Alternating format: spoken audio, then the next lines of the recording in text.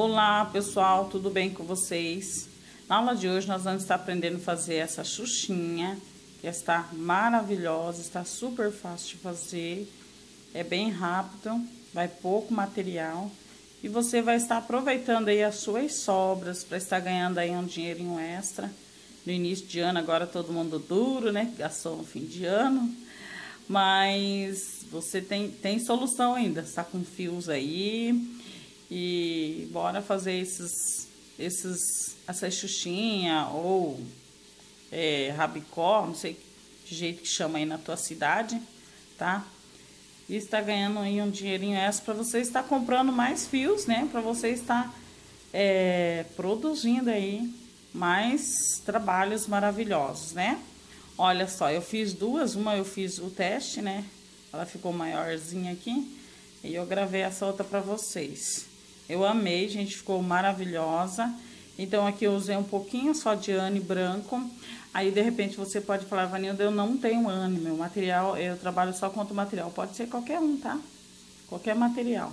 Ó, dei um, um pedaço do ane branco, usei um pedacinho do ane azul, não sei a numeração desse ane, tá até sem rótulo, faz hora que eu tenho esse pedacinho. E elástico, esse elástico aqui é número 12, elástico colorido mas não precisa ser, gente, essa mesma cor. Se você tem o branco aí, qualquer elástico você vai, é, vai poder utilizar aqui. Tem uns nos armarinhos que ele é... Ai, ai, ai, esqueci. Ele é redondinho, esqueci como é que fala. Ele é assim, ó, redondinho. Que você, se você tiver desse também em casa, pode ser, tá bom? Fica à vontade, gente. Aqui a, a sugestão aqui para você estar usando o material que você tem em casa, né? Que é igual aquilo que eu falei. No início de ano, tá todo mundo duro. Então, a gente tem que se virar com o material que tem, tá? E fica um, um resultado aí maravilhoso, ó. Coisa mais fofa. Então, é... Daí, usei essa linha para fazer a costura. Também aquilo que eu falei, pode ser qualquer cor, o que você tiver aí. E também com agulha de costura na mão. Eu fiz a costura do elástico, tá? O que mais eu usei? Ah, trabalhei com agulha de número 2. A minha companheirinha, que eu gravo com ela, tá? Então, se você não é inscrito, inscreva-se, curte, compartilhe em suas redes sociais. Nesse mês quero trazer bastante é, sugestões assim, para você estar utilizando aí as suas sobras, tá bom? É, também me siga no Instagram, arroba Ivanilda Crochês. E conheça as minhas outras aulas, gente. Clica aí na minha playlist, tem bastante modas infantis, masculina, adulta. É, fiz também um, estojo escolar, que está aqui também no canal. A última aula que eu, que eu postei, né? Então, convido vocês para estar conhecendo. É um gatinho, tá maravilhoso. Vou até mostrar para vocês aqui. Deixa eu pegar ele.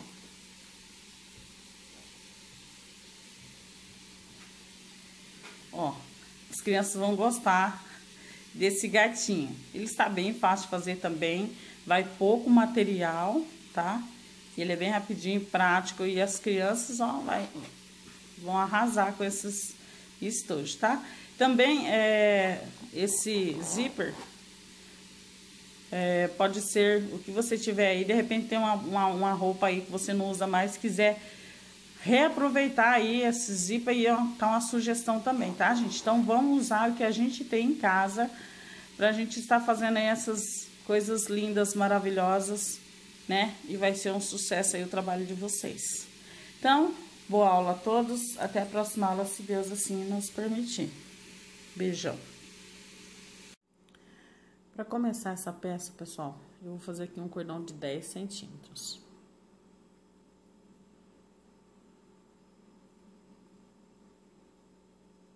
Uma, duas, três, quatro, cinco, seis, sete, oito, nove, dez. Vou voltar aqui na quarta correntinha. E vou estar preenchendo cada um aqui com ponto alto.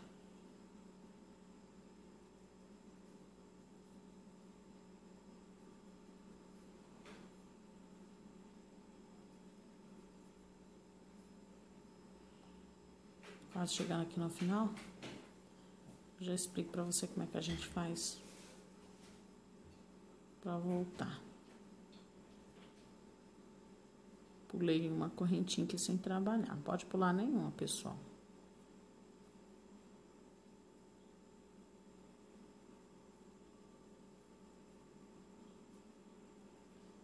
Faço. Agora sim, fiz todos. Faço duas correntes, viro meu trabalho, venho aqui no próximo trabalho, ponto alto. E assim eu vou fazer carreiras de vai e vem por seis carreiras, tá? Então, aqui eu estou terminando já a segunda, vou estar trabalhando mais quatro. Sempre no final aqui você vai estar subindo com duas correntinhas, tá? E quando chegar aqui no final, você também vai trabalhar nessa correntinha que a gente fez. Uma, duas, e assim você vai trabalhar até dar um total de seis carreiras. Trabalhei aqui as seis carreiras. Uma, duas, três, quatro, cinco, seis. Só corrigindo aí, gente. Eu falei trabalhar 10 centímetros, não é? 10 correntinhas, né? A gente trabalha em centímetros direto acaba confundindo. Eu corto esse fio e vou estar pegando outra cor. Que eu vou estar fazendo com duas cores, tá? Se você quiser fazer também só com uma cor, você pode estar fazendo. Mas que é uma ideia aí para você estar usando as sobras, sempre tem sobras em casa, né? Então, esse aqui eu faço o arremate depois com a minha agulha tapeceira e eu vou fazer com o azul.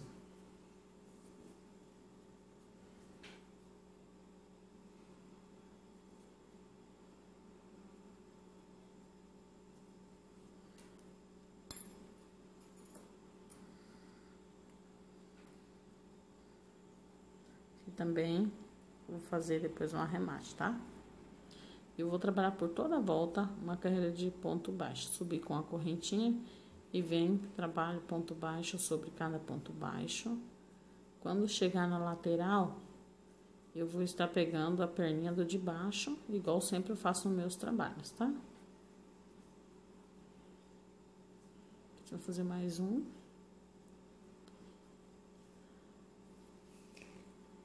Se você quiser já trabalhando, já escondendo esse aqui, a gente pode estar fazendo, tá? Mas eu vou estar escondendo ele depois aqui com a agulha de tapeceiro. Mas isso você pode fazer aí do, do jeito que você achar melhor. Daí pega a perninha do de baixo, vem e faz ponto baixo, tá bom? Desse jeito, por toda a carreira. Ó, peguei dois aqui, é só um pra pegar, né? E assim vai sucessivamente, por toda a carreira. Trabalhei aqui por toda a volta. Deixei aqui, ó, os fios. Eu falei pra vocês que eu vou estar fazendo arremate com a minha agulha de tapeceiro. Olha, é, tem um vídeo que eu tô falando pra vocês que eu gosto de estar molhando a ponta do meu dedo. Porque pro, pro fio Anne ficar mais assim rígido, né? E às vezes você vai cortar ele e acaba quebrando, porque eu gosto de dividir ele, né? Mas primeiro eu vou estar trabalhando, é, entrando, escondendo ele por alguns pontos, tá?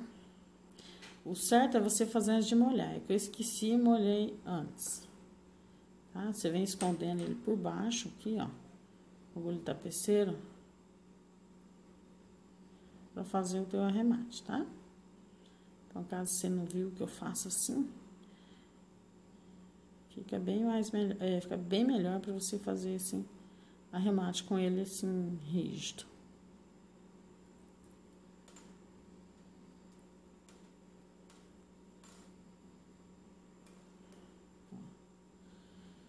Deixa eu trazer mais para cá.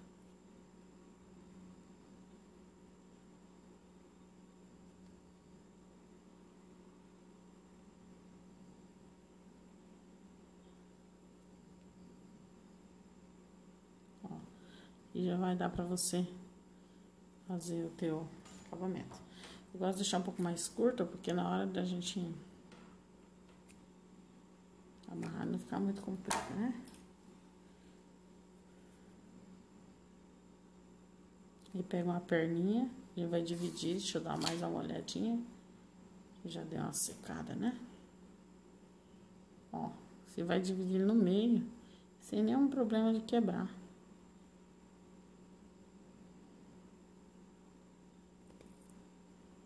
Tá? Aí você vai fazer assim por todas as pontas.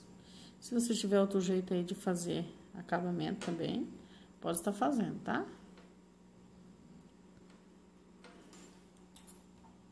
Ó, agora você vai cortar bem rente. Olha aí. Então, vou estar fazendo nessas outras pontas também. Aí, volto pra gente dar continuidade. Já fiz o arremate, ó, ficou bem escondidinho. Aqui é o lado certo. Então, agora eu vou estar fazendo 10 correntinhas também. Só que agora, em vez de a gente trabalhar seis carreiras, nós vamos estar trabalhando 10 carreiras. Então, vai acrescentar só quatro carreiras a mais. Uma, duas, três, quatro, cinco, seis, sete, oito, nove, dez. Volto na quarta. E vou trabalhando carreiras de vai e vem, igual a gente fez aí nesse, nessa outra parte. Também a gente vai contornar, tá? Aí eu vou fazer tudo isso e volto com você pra gente montar aí o nosso lacinho, que é super fácil de fazer. Meninas, creio que você pode estar vendendo de 5 a 10 reais a unidade dessa peça. E vai aproveitar as suas sobras aí e vocês vão ganhar dinheirinho, né? Ou se você quiser presentear também, né? Então, fica aí a sugestão para vocês. Então, agora eu vou trabalhar aqui até dar as 10 carreiras, dou o contorno e aí volto, tá?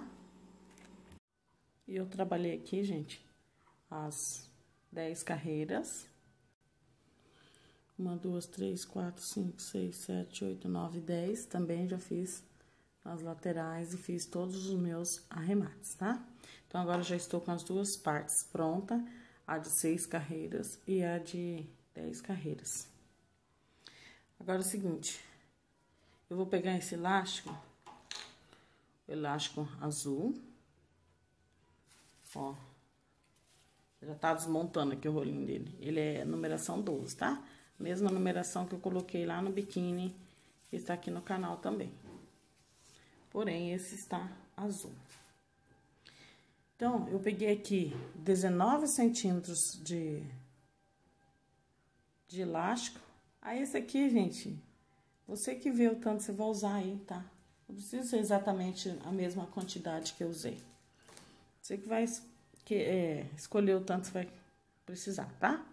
Ó, daí você vai dar uma dobrada aqui. Vamos estar costurando esse elástico de preferência, escondendo aqui essas pontinhas, pra ele não desfiar, tá? Aqui, ó. E você vai pegar a agulha de costura na mão, ó. O meu fio também é azul. Tive sorte que tinha, procurei aqui, tinha um azul, gente. Isso é, foi muita sorte mesmo, que é difícil eu, eu encontrar na mesma cor. Então, aqui, eu vou costurar esse elástico prendendo essas duas pontinhas, o meu, meu fio já está embolando aqui, mas eu consegui puxar ele, tá? Você vai costurar bem costuradinho, para depois a gente estar montando aí o nosso elástico. Costurar tanto desse lado quanto desse, tá? Agora já está costurado, está bem firme. Outra coisa, gente, se você não tiver o fio na mesma cor, não tem problema, porque esse aqui vai ficar escondido, tá? Não se preocupe quanto a isso. Então, você vai pegar... Você vai deixar a mesma quantidade de carreira aqui, ó. Fica sobrando duas carreiras. Então, traz um pouquinho pra cá pra ficar mesmo, o mesmo tanto, tá? Ó, fica uma carreira pra cada lado, ó tá? Então, você vai fazer desse jeito aqui, ó. Vai dar uma ajeitadinha aqui. Pra você estar montando aí esse lacinho.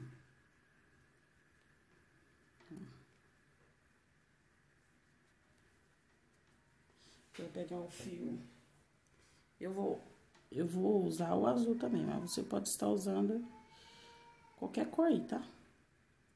Deixa um tamanho bom pra você. Ah, outra coisa, tava esquecendo. Esse aqui nós já vamos prender. Prender junto, tá? Ele vai ficar assim, ó. Desse jeito, ó.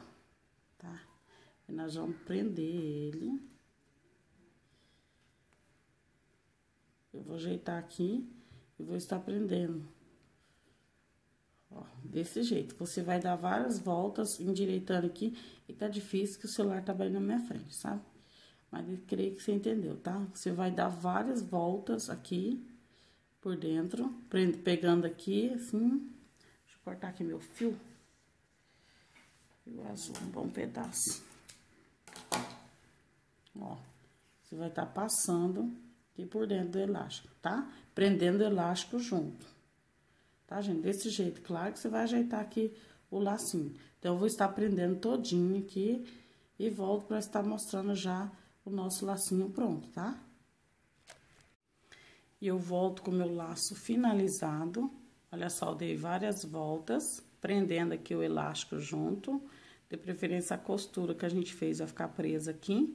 Agora, é só ajeitar já está pronta aí a xuxinha, tá? Espero que vocês gostem desta aula, ela é simples e fácil e você vai estar aproveitando aí todas as sobras que você tem. Olha só, gente, imagina agora um rosa desse, rosa com branco, vai ficar lindo, maravilhoso. Olha, eu fiz desse outro jeito aqui também. Ó, eu fiz, eu montei ele e depois costurei. Ó, mas assim eu achei que deu mais trabalho, nem ficou bem ah, escondida a pontinha dele aqui, que é um teste que eu fiz. Ele, ó, observa que a minha pontinha nem escondi, tá? Se você quiser fazer desse jeito também, tá? Fique à vontade. Obrigada a todos. Se você não é inscrito, inscreva-se, curte, compartilhe em suas redes sociais. Beijão a todos.